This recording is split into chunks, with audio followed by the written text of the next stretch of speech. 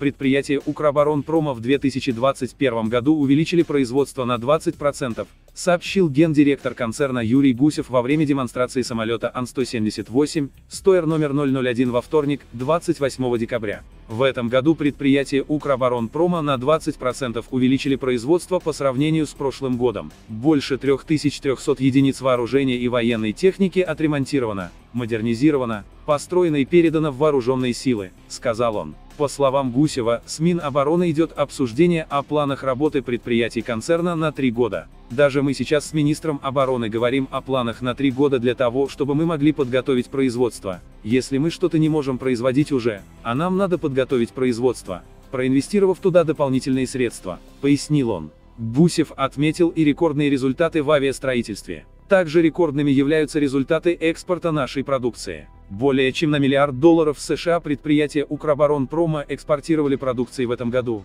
И у нас также есть много планов на расширение, добавил он. Пресс-служба госпредприятия «Завод 410 гражданской авиации» обнародовала мини-отчет самых больших достижений предприятия в 2021 году, назвав результаты работы рекордными. Так, в отличие от 2020 года, когда деятельность ГП «Завод 410 гражданской авиации» была глубоко убыточной, в этом году предприятие вышло на прибыльность, не имеет долгов по заработной плате, а сам фонд оплаты труда повышен практически вдвое сообщила пресс-служба. Отмечается, что в 2021 году авиаремонтное предприятие достигло десятикратного улучшения объемов производства против худших лет и втрое по сравнению с лучшими показателями за последние 8 лет работы. В текущем году завод 410 гражданской авиации успешно сдал три борта Ан-32Б для военно-воздушных сил Шри-Ланки и передал капитально отремонтированный Ан-26 военно-воздушным силам Украины. Также на предприятии были проведены работы по обслуживанию двух самолетов Ан-74 для Комитета национальной безопасности Казахстана и Национальной гвардии Казахстана. Сейчас на заводе завершают капитальный ремонт и модернизацию самолета Ан-30 для военно-воздушных сил Болгарии, восстанавливают четыре транспортника для воздушных сил Украины, и проводят регламентные работы над тремя самолетами, 2 Ан-32П и Ан-30 Государственной службы Украины по чрезвычайным ситуациям. В планах на следующий год начать выполнение работ по восстановлению и модернизации трех самолетов Республики Бангладеш, контракт, подписан в марте этого года, и принять от 4 до 5 самолетов и двигателей в ремонт от Республики Казахстан, в соответствии с утвержденным в октябре 2021 года, плана работ на 2022-2023 годы, и, конечно, продолжать ремонт и обслуживание военно-транспортных самолетов воздушных сил, ВМС, и структур МВД Украины, ГП «Производственное объединение Южный машиностроительный завод имени Макарова» подписал с американским заказчиком контракт на изготовление очередных двух первых ступеней ракеты-носителя «Антарес». Как сообщила пресс-служба Южмаш, заказчик определился с конфигурацией ракеты-носителя, что позволило заключить контракт. Во многом нашу перспективу определяло и то, как мы покажем себя в 2021 году на изделиях 17 и 18. Многие нюансы возникают не только во время производства, но и в ходе сдачи продукции заказчику. Мы уложились в сроки, и прием прошел без замечаний, объяснил первый заместитель генерального директора по экономике и финансам госпредприятия Константин Завгородний. В свою очередь, и американцы выполнили обещание, подписали важный для нас контракт. Это загрузка нашего основного производства на ближайшие 2-3 года, отметил он. Таким образом, сейчас в Днепре есть заказы на изготовление четырех основных конструкций первой ступени для ракеты-носителя «Антарес». Кроме этого, ожидается дополнительное подтверждение НАСА, после которого можно будет договариваться о производстве еще нескольких основных конструкций первой ступени. Помимо сотрудничества с США, Южмаш также выполняет заказы на производство двигателей четвертой ступени РД-843 для европейской ракеты-носителя Вега. По контракту, рассчитанному до 2023 года, Госпредприятие должно поставить 11 блоков маршевого двигателя. На начало этого года было поставлено 7 двигателей, еще один планировали отгрузить заказчику в ближайшее время, а последние три блока находились в процессе производства. Кроме этого, европейский заказчик воспользовался опцией по дополнительному заказу по этому контракту, что позволило достичь договоренности на поставку еще 10 блоков маршевых двигателей для ракеты-носителя Вега. Следует добавить, что в 2021 году было осуществлено два пуска ракет-носителей Антарес и Тривега с украинскими составляющими. В целом с 2012 года европейская ракета стартовала 20 раз, из них 18 раз успешно, а американская с 2013 года 15 раз, 14 успешно.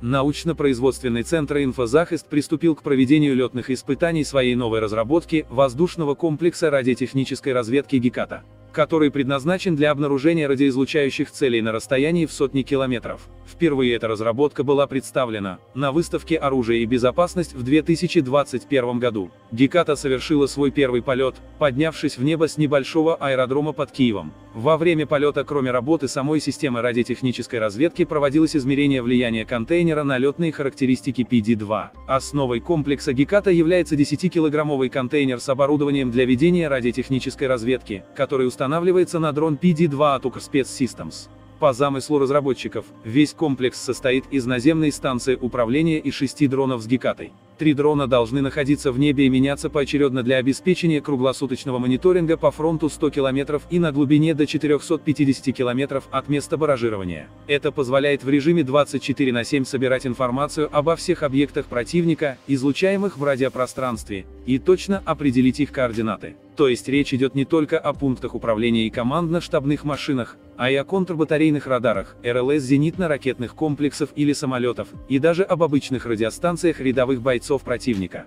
И делать это совершенно незаметно, баражируя над своей территорией. Ибо, во-первых, Геката только собирает данные, не излучая ничего, а во-вторых, PD-2 имеет размах крыла до 5 метров, что делает его обнаружение РЛС достаточно сложной задачей. В общем, возможности Геката позволяют отслеживать одновременно до 200 целей и передавать информацию о них в режиме онлайн. Или в случае полной радиотишины или автономного полета накапливать эту информацию на внутренних носителях. Фактически решения научно-производственного центра «Инфозахист» в виде роя беспилотников позволяют заменить классические самолеты радиотехнической разведки или сети наземных станций, вроде «Кольчуги». Отметим, что PD-2 может находиться в воздухе около 10 часов и подниматься на высоту до 5 километров. Дальность управления дроном составляет более 220 километров.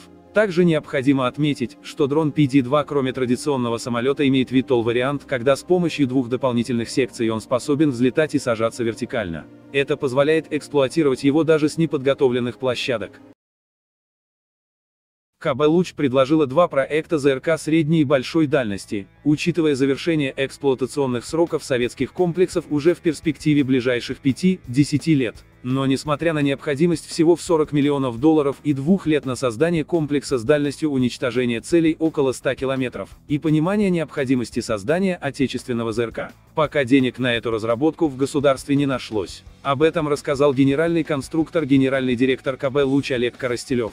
То, что создание отечественного ЗРК средней и большой дальности актуально, постепенно понимают все, включая Минобороны. Но все дело в финансировании, от этого зависит все, сообщил глава КБ «Луч». В то же время, одним из вариантов создания отечественного ЗРК, теоретически могло бы быть сотрудничество с западными компаниями. Этот вариант действительно позволяет значительно ускорить разработку комплекса и приобрести новые компетенции благодаря партнерству. Однако за все это время ни одна западная компания не предложила приступить к совместной работе над ЗРК.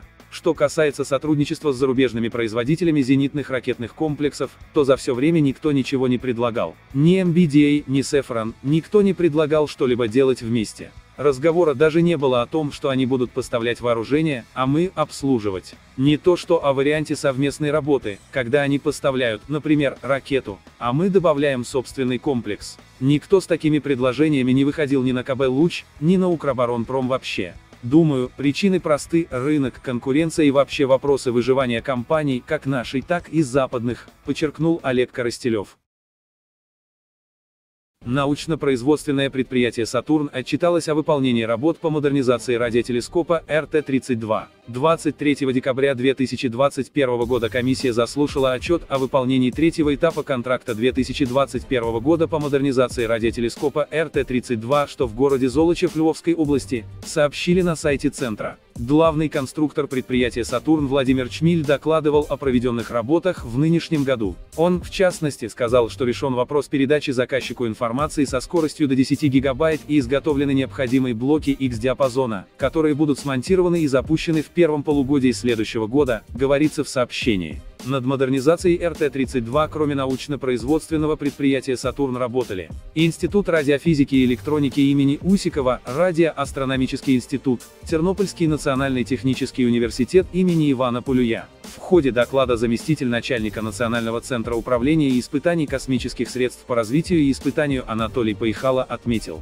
что радиотелескоп РТ-32 дает возможность специалистам Радиоастрономического института проводить необходимые фундаментальные научные исследования Вселенной. Национальная академия наук Украины признала РТ-32 среди 10 величайших научных достижений в прошлом году. Работы по модернизации радиотелескопа РТ-32 планируется завершить к концу следующего года. Все выполненные работы в этом году научно-производственным предприятием «Сатурн» комиссия приняла. Трехдиапазонный радиотелескоп РТ-32 работает, выполняя задачи Национального центра управления и испытаний космических средств, Государственного космического агентства и Национальной академии наук, исследуя Вселенную, подытожили в центре. Добавим, ввод в эксплуатацию нового радиотелескопа РТ-32, созданного в процессе опытной модернизации 32-метровой антенны Mark 4B, состоялся в декабре 2020 года. С 2018 началась активная фаза модернизации антенны Mark 4B и создания на ее базе радиотелескопа РТ-32. В ноябре 2020 года основные работы по созданию радиотелескопа были завершены.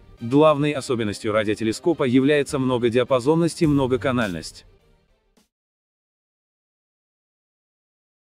С 1 января в Вооруженных силах Украины официально появилось пять новых отдельных родов войск. Изменение структуры Вооруженных сил Украины предусматривает принятый в прошлом году закон Украины об основах национального сопротивления, которым были внесены изменения в третью статью закона Украины о Вооруженных силах Украины вступившие в силу 1 января 2022 года. ВСУ и в дальнейшем будут иметь трехвидовую структуру – сухопутные войска, воздушные силы, военно-морские силы, однако помимо имеющихся на сегодняшний день отдельных родов войск, десантно-штурмовых войск и сил специальных операций. Отдельный статус получили еще пять родов. В частности, отдельными родами сил вооруженных сил Украины отныне являются силы специальных операций, силы территориальной обороны, силы логистики, силы поддержки и медицинские силы. Отдельными родами войск ВСУ, десантно-штурмовые войска, а также войска связи и кибербезопасности. Напомним, что командование медицинских сил, сил поддержки, войск связи и кибернетической безопасности были созданы в феврале 2020 года,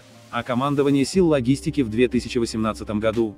Однако они не имели статуса отдельного рода войск. Территориальная оборона же развивалась в системе сухопутных войск и до 2020 года не имела собственных органов управления. Тогда в структуре командования сухопутных войск было создано командование территориальной обороны, которое возглавил генерал-майор Анатолий Баргилевич. Общая численность кадрового состава войск теробороны сухопутных войск к концу 2021 года составляла 580 человек. Однако с 1 января 2022 года создано отдельное командование сил территориальной обороны, которое уже в январе должно принять все воинские части теробороны от сухопутных войск, которые одновременно переходят на новые увеличенные штаты. Спасибо за просмотр. Всем мира и добра.